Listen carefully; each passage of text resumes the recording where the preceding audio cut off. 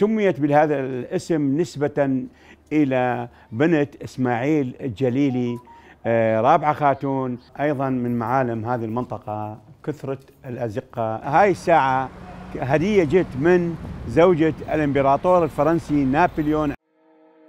بمحلتنا الناس الطيبة وحكايات ألوان أشكال وبكل بيت وعوجي وشارع أكو ذكرى.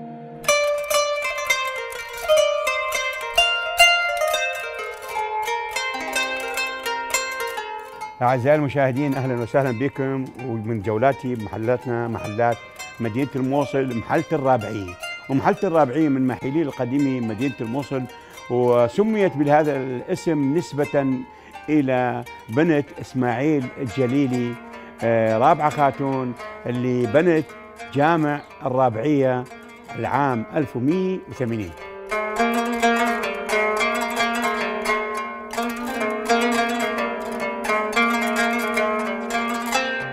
ومن المناطق المهمة أو المحلات المهمة في محلة الرابعية آه، المدرسة الحسنية أو دار القرآن الكريم في هذه المنطقة وتقع مقابيل حمام قرع علي.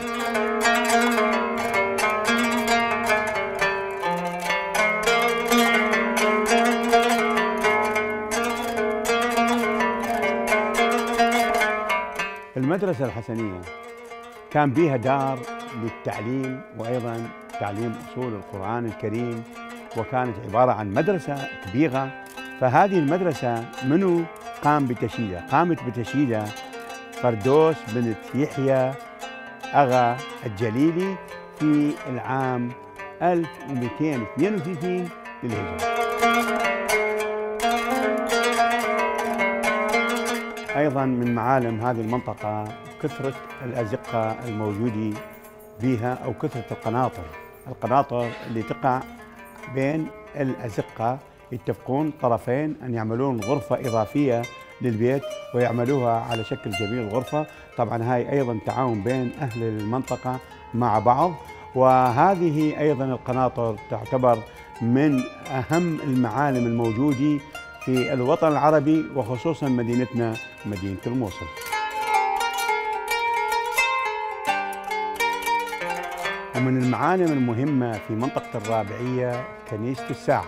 وكنيسة الساعة تمت المباشرة ببنائها في 9 نيسان العام 1866 لتكون مقر للأخوة الدنيوكان في مدينة الموصل. طبعا تم آه، بناء هذه الكنيسة أو تشييدها طول تقريبا ست سنوات وتم تدشينها من قبل القاصد البابوي نوكالا كابوتشي وأيضا بحضور مطراني الكنيسة السريانية الكاثوليكية والكنيسة الكلدانية عبد يشوع آه، خياط وبهنام بني.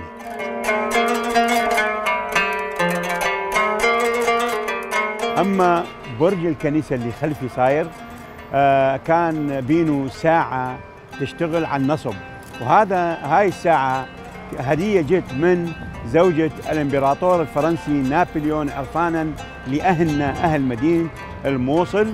وبعدين بعد مئة سنة أو أكثر تم آه، جلب ساعة إلكترونية تعمل في آه، هذا البرج.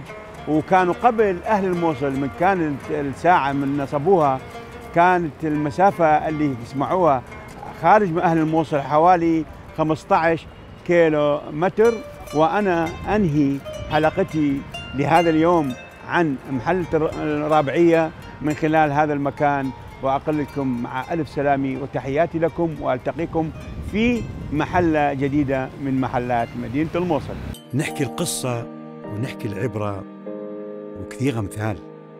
التراث والحضارة أصلا هون بموصلنا.